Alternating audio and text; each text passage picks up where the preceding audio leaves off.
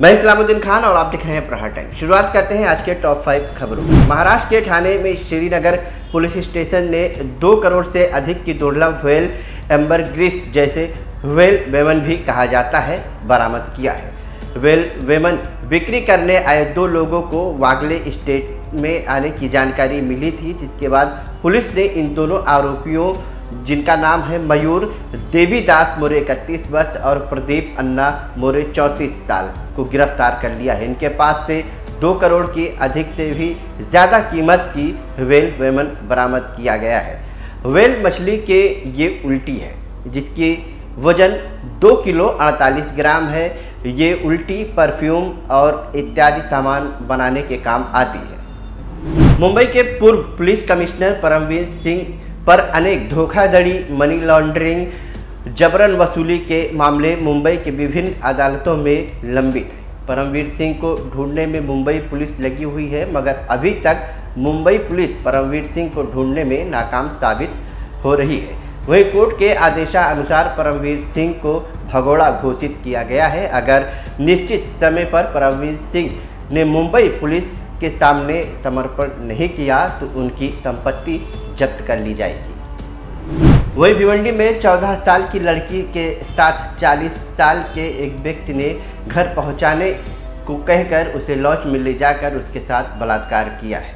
Police ने बताया कि घटना भिवंडी तालुका की है और आरोपी को गिरफ़्तार भी कर लिया गया है।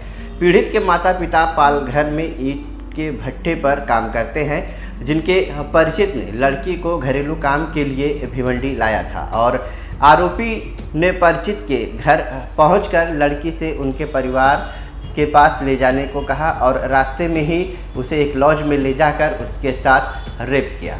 आरोपी के खिलाफ आईपीसी की धाराओं के साथ यौन अपराध, बच्चों का संरक्षण, पॉस्को अधिनियम, अनुसूचित जाति एवं अनुसूचित जनजाति अत्याचार निवारण के तहत मामला दर्ज किया गया है।